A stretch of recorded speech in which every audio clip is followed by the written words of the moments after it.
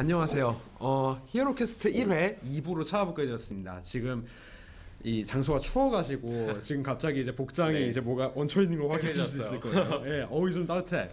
예, 저는 그래서 다시 한번 이제 지금부터 보는 분들이 위해서 잠깐 말씀드리자면 저는 스프링필드고 어, 스님이라고 부릅니다. 저 같은 경우 이제 마커스고 게리명으로 부릅니다. 네. 개. 저는 26, 26이라고 하고 이모라고 부르시면 됩니다. 예, 예.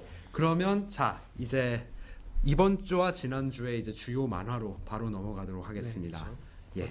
그러면 어디 그러면 보자. 처음에 리뷰를 하실 분은 예.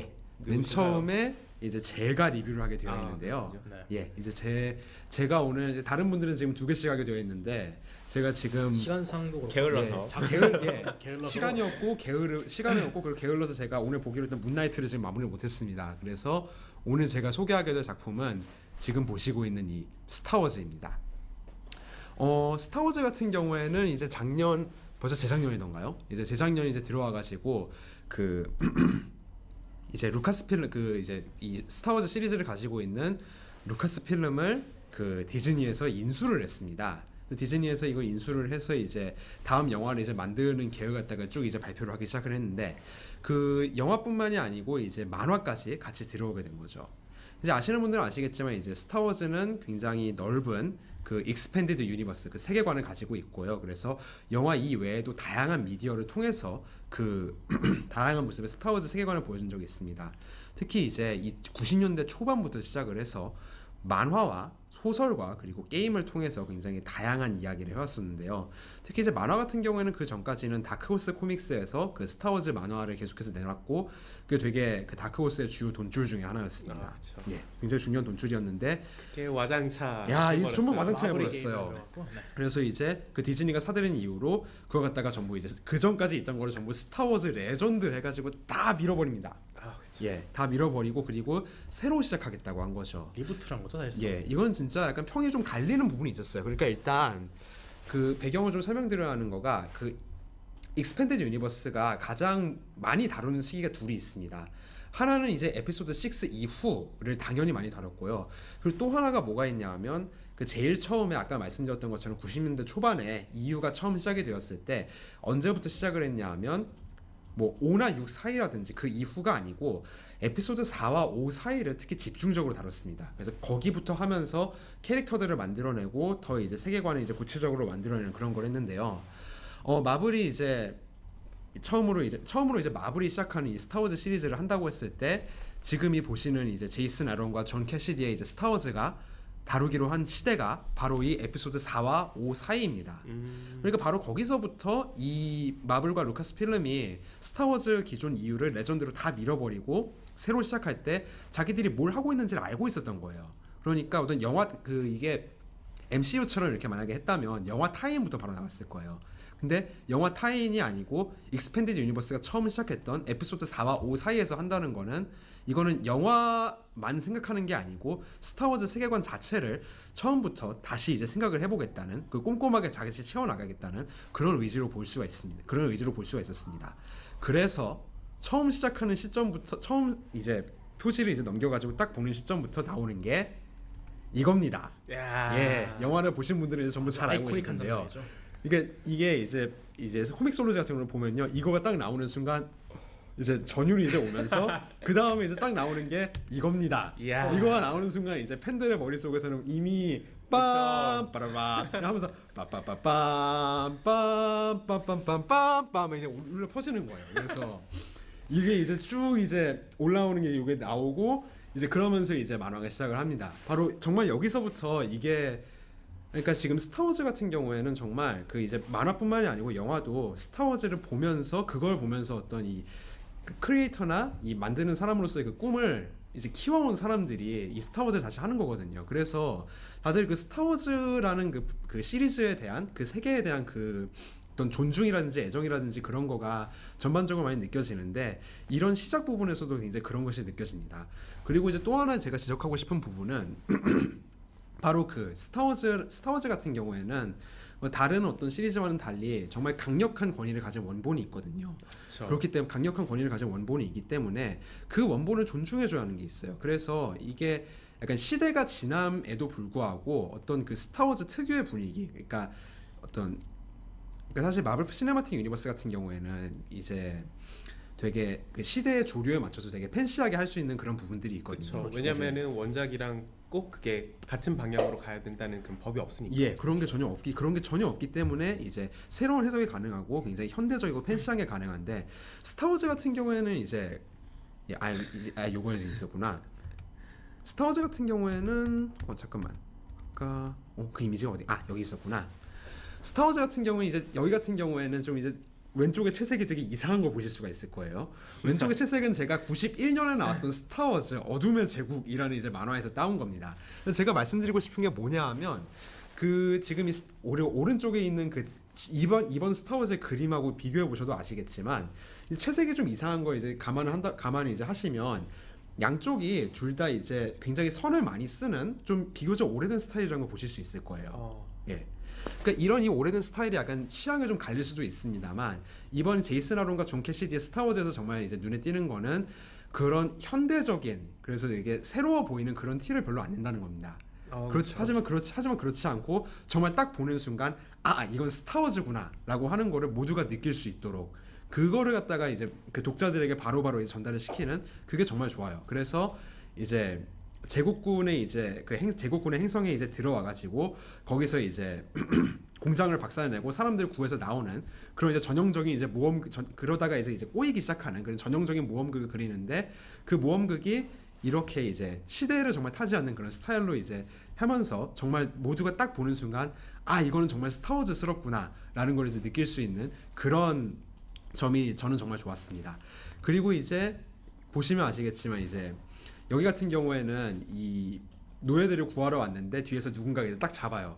그러자마자 이제 루크가 이, 이 사람을 갖다가 이제 포스를 사용해서 이 노예들은 당신이 찾는 노예가 아니다라고 이제 조작을 하려고 하거든요. 어허. 이거가 그 에피소드 4에서 이 droid들은 당신이 찾는 droid가 아니다라고 이제 그렇게 이제 조작을 하던 그 오비완 케노비의 대사 같은 걸 이제 패러디한 거고요. 아, 이런 부분들이 굉장히 많습니다. 올드 팬들을 확실히 예. 만족시킬 만한 그런 거네요. 네. 그리고 이제 지금 여기서도 추- 여기 추바카 이 추이가 어 하면서 이제 소리를 지르는데 소리를 지르자마자 솔, 한 솔로가 그거 갖다가 다 어 뭐라고라고 해석을 해주면서 이제 알아서 다 알아듣는 이제 그런 것도 나오는데 이런 부분도 이제 스타워즈 팬들이라면 전부 웃을 수 있는 그런 부분이죠. 하지만 그렇다고 전부 이제 옛날식으로만 남아 있는 거 아니고요. 정말 그 이제 저 약간 현대적으로 조금씩 조금씩 바뀌면서 이게 굉장히 쿨한 쿨한 장면도 나오는 게 있습니다. 그 대표적인 쿨한 장면이 바로 이 장면입니다. 우리의 다스 베이, 우리의 베이더 대왕님께서 그래서 아까 보시던 대로 이제 추이가 이 베이더를 보고 이제 blaster를 쏘기 시작합니다. 베이더 blaster를 막 쏘기 시작하는데 그거를 막기 위해서 막 광선검 빼들어 가지고 튕겨내고 이런 거 안 합니다. 바로 스톰트루퍼들을 갖다 이렇게 둘을 갖다가 딱 잡아가지고 고기만큼, 고기 실드를 갖다가. 딱 이렇게 이제 사용을 하는데 이 장면과 이 장면 이 장면이 제 생각에는 이번 만화에서 가장 쿨했던 장면인 것 같아요.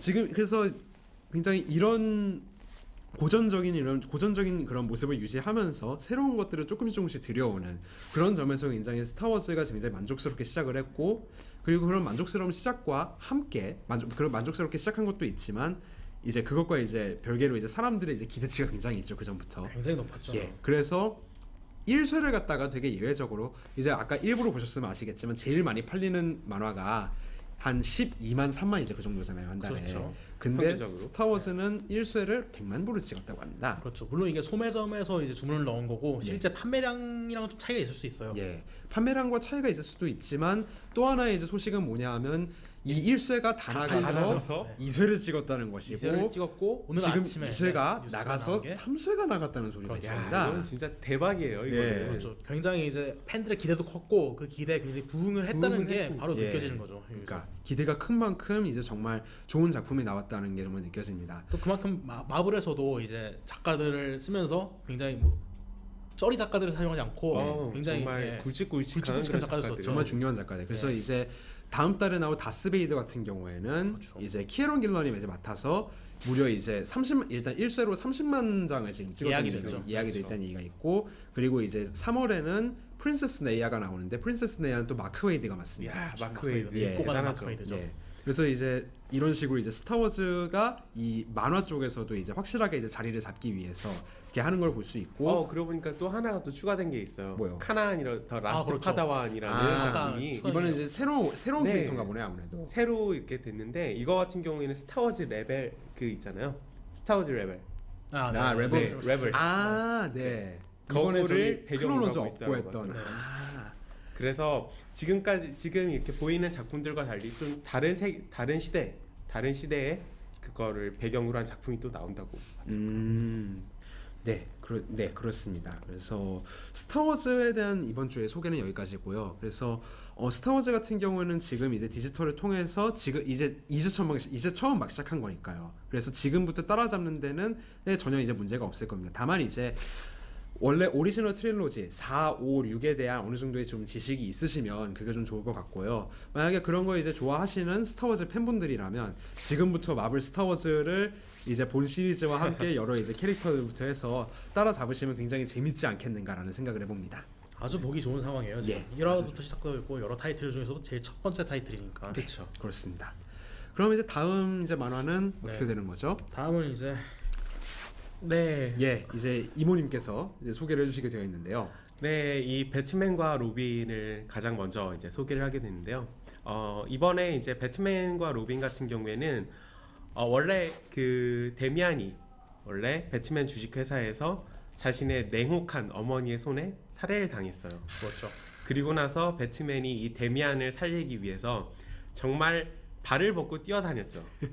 그러다가 진짜. 드디어 드디어 로빈 Rises에서 로빈이 드디어 부활을 했고 그리고 이번 38화 같은 경우에는 이 새로 태어난 로빈의 공식적인 첫 데뷔 무대입니다.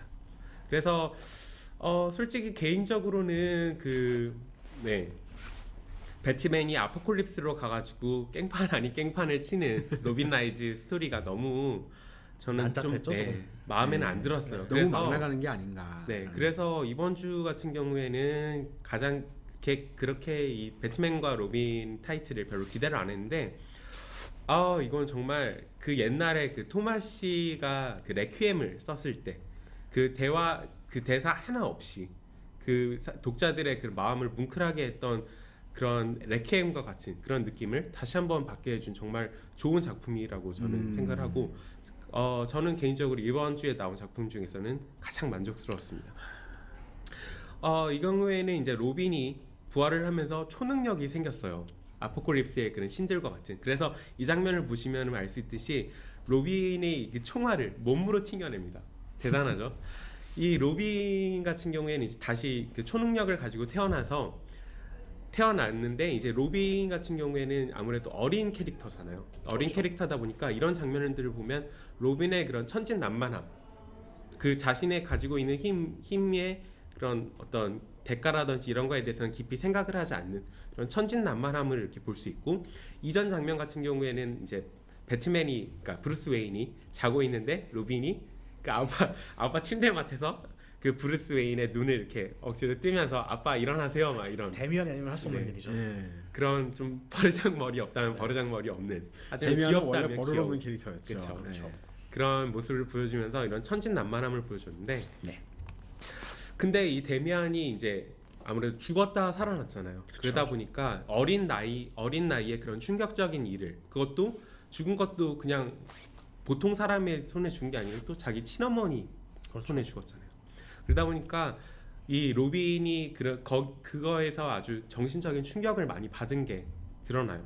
예를 들어서 이 꿈인데 이 꿈을 통해서 보시면은 이 글리슨의 작화의 그런 힘이 드러나는 장면인데 굉장히 호러스러운 걸잘 네, 그리죠. 이, 그, 이 그로테스크한 이런 네. 일러스트를 통해서 이 로빈이 그러니까 데미안이 겪고 있는 그런 심적인 그런 그런 PTSD 같은 음. 그런 증상들을 보여주는 그런 아주 아주 인상력 인상 깊은 그런 장면이었고요. 그래서 이 데미안이 이런 악몽을 꾸고 일어나서 그, 그 살아남은 자의 그런 죄책감이랄까 그런 걸 느끼면서 일어나서 이제 그것들을 정리하기 위해서 자신의 그런 마음속을 좀 더 차분히 하기 위해서 일련의 그런 행동을 하는 게 이번 로빈 라이즈의 그런 주요 내용이었는데 가장 먼저 한 거는 이제 그 자신의 그 어머니의 텅 빈 묘지에 세워진 그 비석에다가 자기 손가락으로 대리석 비석에다가 탈리아 알굴이라는 글자를 써요. 음. 그러면서 어머니는 죽었지만 어머니가 죽이려고 했던 나는 아직 살아있다. 이렇게 얘기를 하면서 다시 날아가서 어머니가 자기를 그러니까 탈리아가 이 데미안을 만들었던 그런 섬에 있는 그 시설을 찾아가서 그 안에 있는 시설에 있는 그것들 다 장비들 다 부숩니다. 그리고 나서 다시 바닷속으로 들어가서 아틀란티스에 가서 지금 그 아틀란티스의 왕인 아쿠아맨한테 그, 그 실험 시설에서 만들었던 그런 데미안의 형제들 그런 그런 그로테스크한 그런 괴물들을 다시 돌려달라고 합니다. 왜냐 가족이니까. 음. 형제니까. 네, 형제니까. 그러면서 그 다시 데리고 나온 그 자기 형제들을 그 섬에다 이렇게 풀어주면서 이렇게 보내주는 그 장면이 있었는데 그 정말 이번 작품 같은 경우에는 토마시가 쓴 대본도 대본이겠지만 정말 글리슨 같은 경우에는 이 표정이라든지 아니면은 그런 뭐 손짓이라든지 이런 제스처를 통해서 그 캐릭터의 감정을 이렇게 표현하는 게 굉장히 뛰어나다는 걸 음. 다시 한번 확인했어요.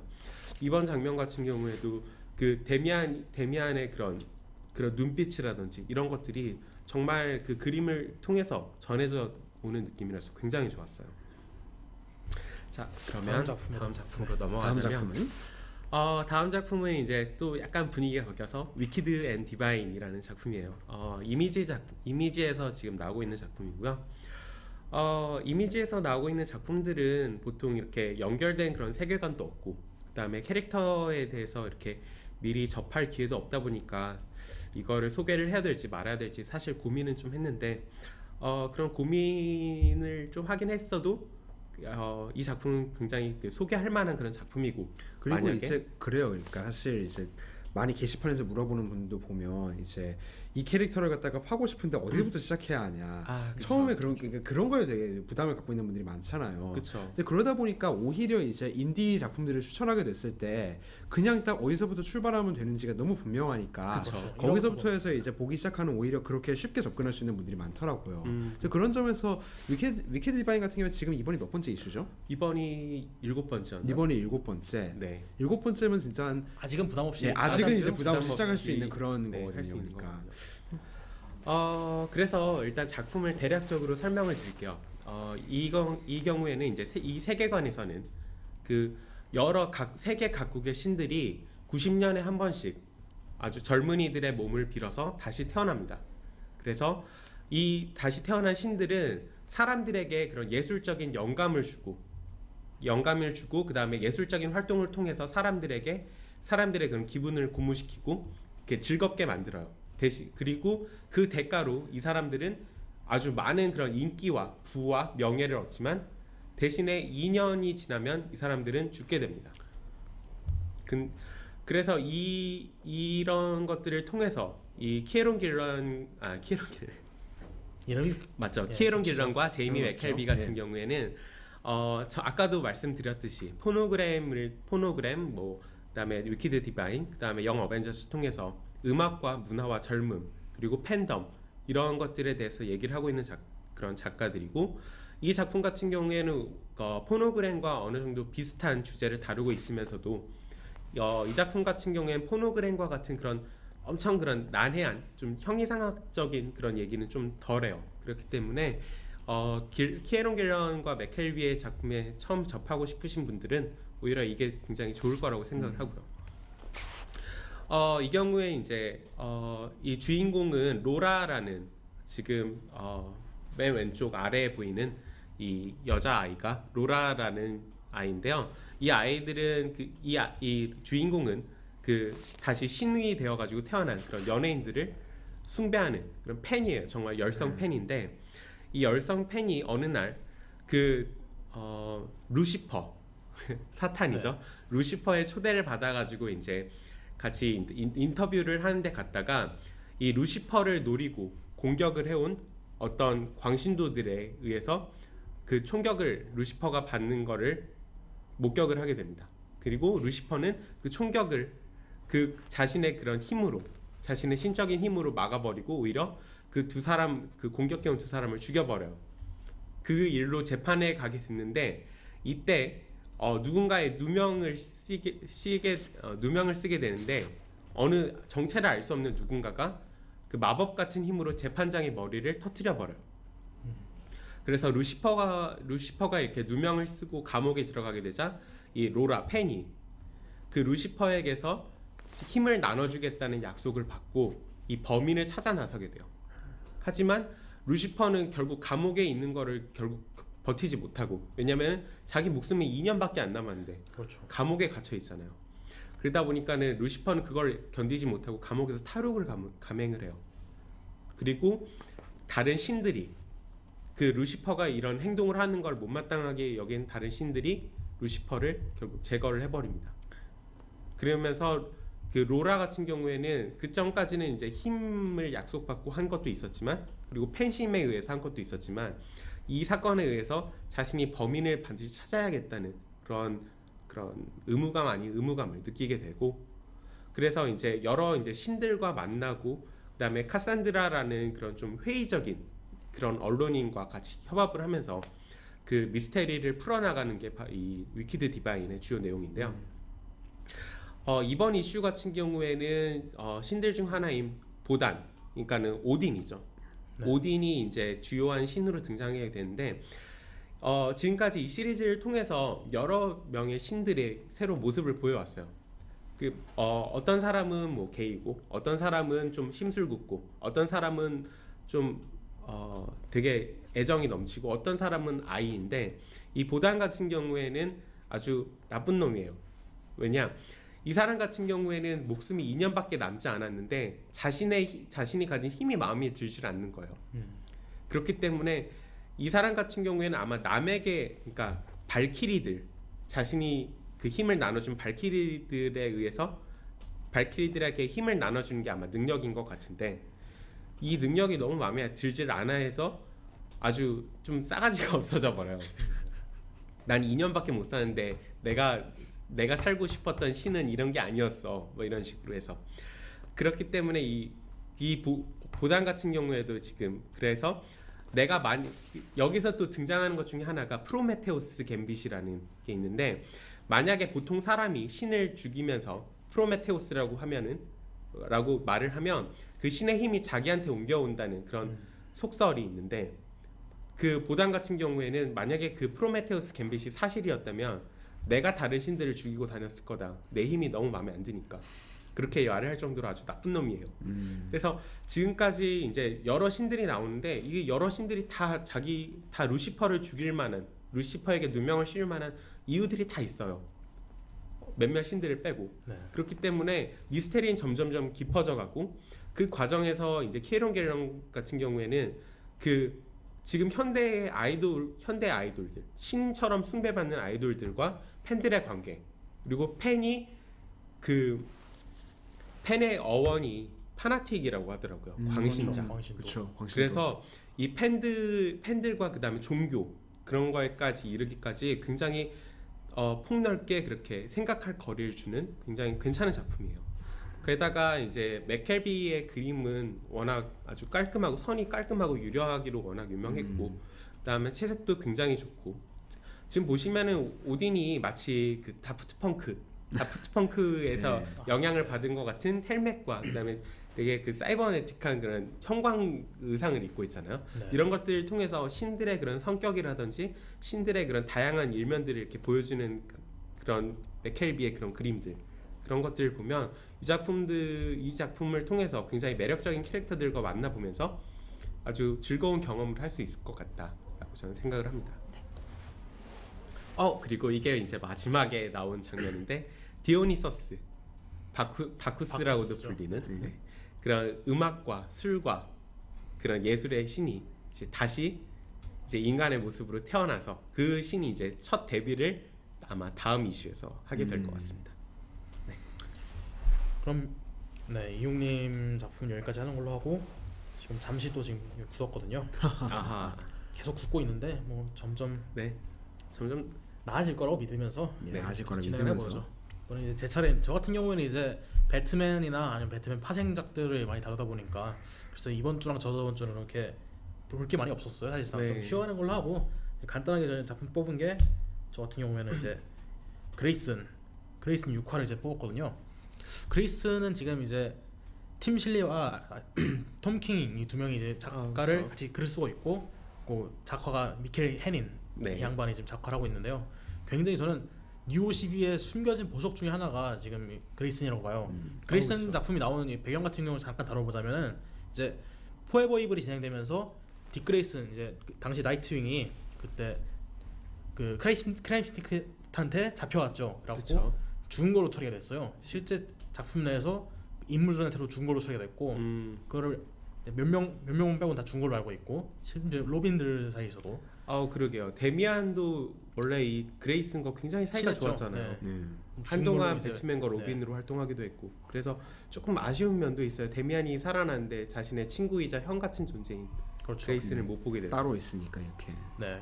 그래갖고 죽은 걸로 처리된 다음에 그다음에 이제 배트맨이 갖고 스파이럴의 침투를 뭐 이중 첩자 이런 식으로 네. 침투하게 됐어요. 그래갖고 이제 벌어지는 스파이극인데 이 경우 같은 경우에 굉장히 예 작품이 굉장히 그림부터가 미려해요 이게 아. 작화도 그렇고 뭐 글도 굉장히 잘 써요. 네. 음. 근데 그거 말고 사실 말씀 드릴 게 별로 없긴 한데 이제 왜냐면 지금 6화밖에 안 됐고 네. 시작된 것도 얼마 안 됐고 중간에 annual이나 이제 퓨처스 엔드 tie-in도 있었지만은 이 작가가 글을 잘 쓴다는 거 위에는 그렇게 많이 해드릴 이야기가 없어요. 대신 이렇게 가끔씩 보면은 재밌는 장면이 이렇게 하나씩 나오거든요. 네.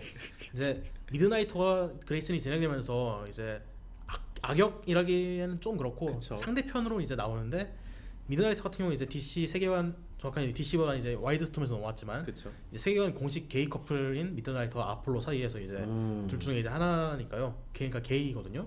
음. 또 이제 그레이슨 같은 경우에는 이제 평이 뭐 캐릭터 세계관에서 캐릭터의 평이 네. 이제 세계관 최고 엉덩이를 보유한 사람이 아 그렇기 때문에 이제 치명적인 남자. 네, 스파이 활동을 하기 때문에 얼굴은 이제 이제 정신 교란을 걸어갖고 네. 얼굴이 아- 안 보여요. 이제 그쵸, 그쵸. 회오리 모양으로 이렇게 보이는데 이제 여기서 미드나이터가 그레이슨의 엉덩이를 보고 이 엉덩이는 그레이슨의 것이다. 라는 것을 딱 확신을 하는 이런 모습이 찰지구나. 네, 굉장히 재미있게 나왔어요. 이런 모습이 찰지구나. 네. 야.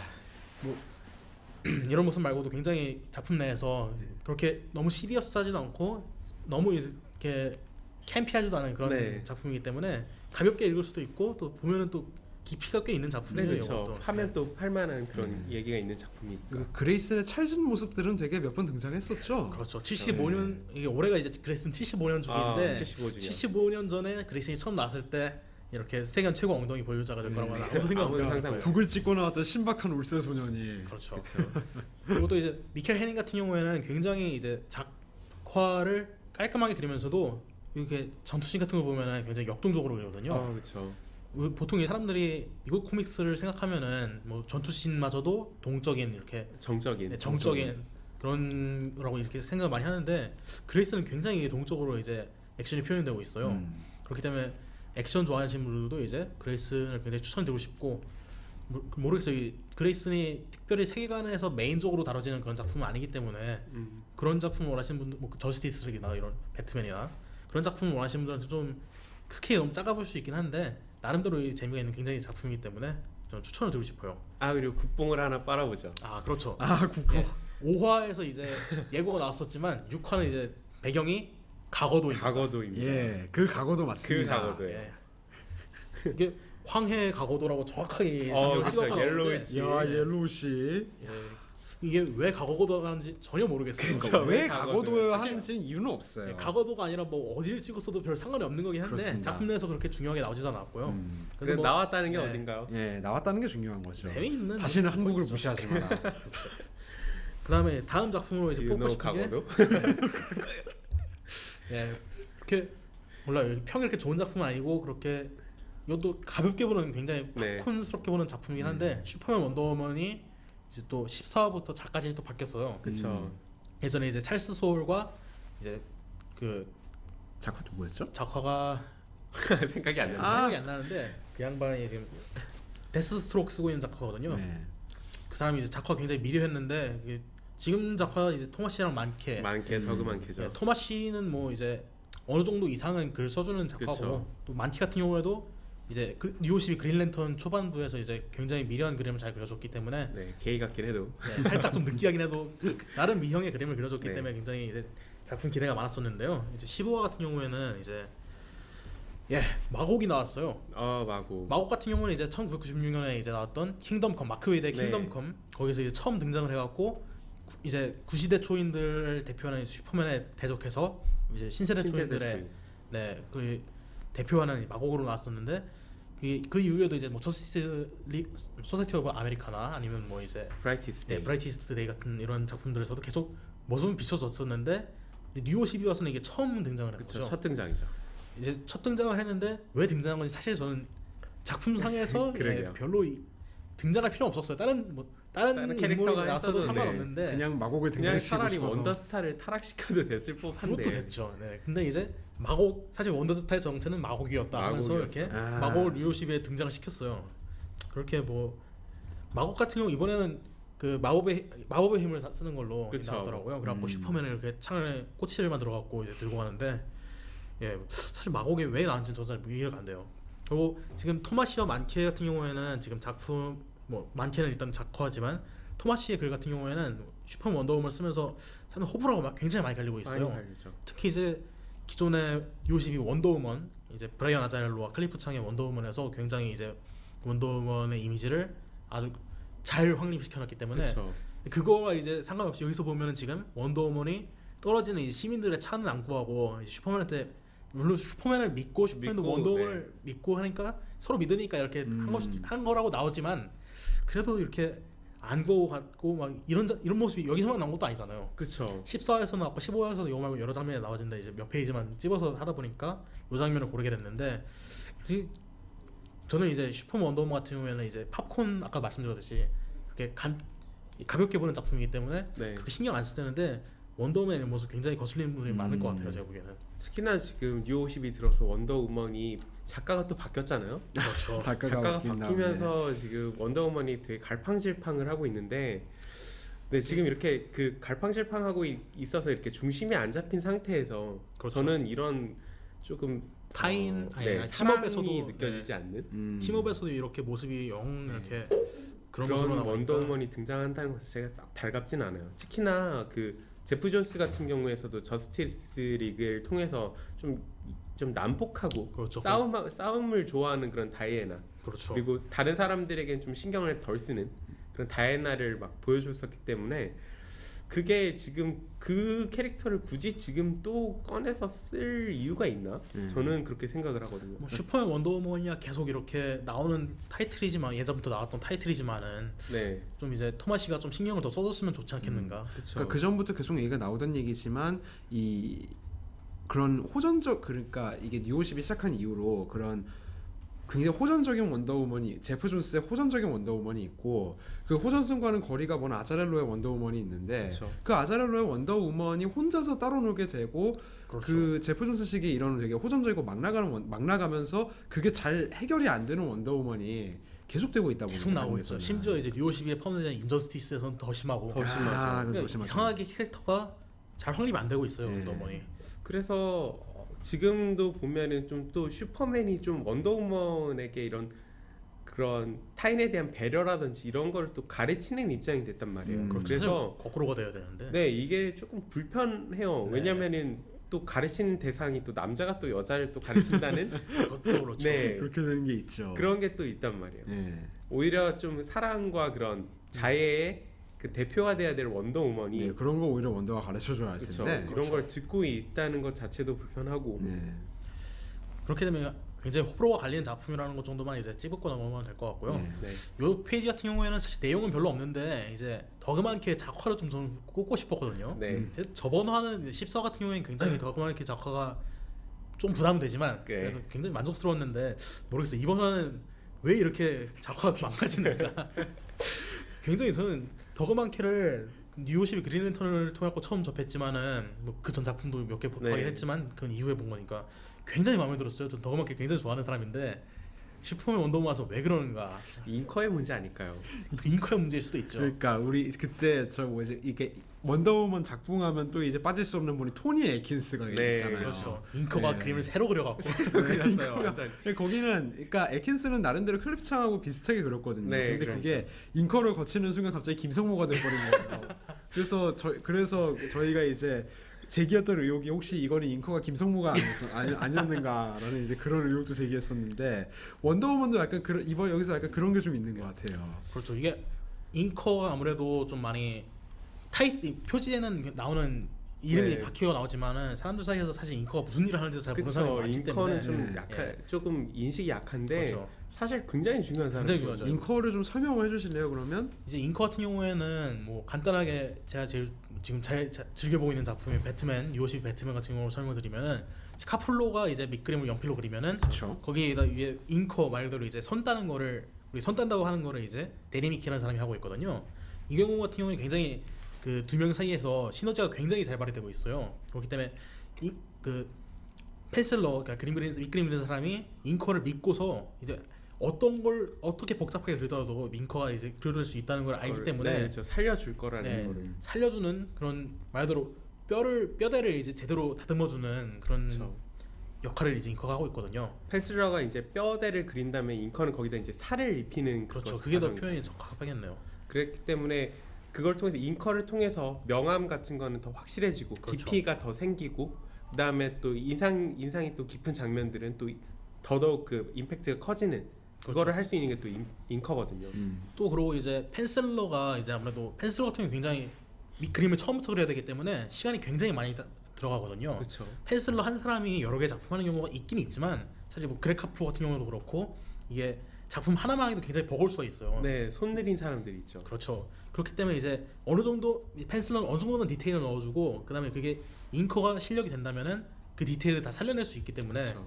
근데 이제 잉커가 그 실력이 안 되면 이제 뭐 아까 원더우먼의 토미 토니 에키스 같은 경우가 나올 수도 네. 있고 이번 화도 좀 영 이게 잉커가 잘못한 건지 아니면 더그만키가 뭐 잘못한 건지 모르겠지만 모르겠지만 네 그런 식으로 그림을 좀 죽일 수가 있기 때문에 음. 네, 굉장히 중요한 뭐 다른 원더우먼이랑 좀 다른 이야기긴 하지만 그래도 네. 잠시 잉- 잉커에 대해서 설명하자면 그런 존재라고 보시면 될 것 같네요. 예, 예. 네. 하여튼 이제 예, 슈퍼 원더우먼 같은 경우에는 저는 같은 굉장히 팝콘식으로 아까 두 번 말씀드렸지만은 계속 보기 때문에 아, 물론 앞으로 저는 계속 볼 것 같긴 한데 그렇게 진지하게 보는 작품은 아니기 때문에 네.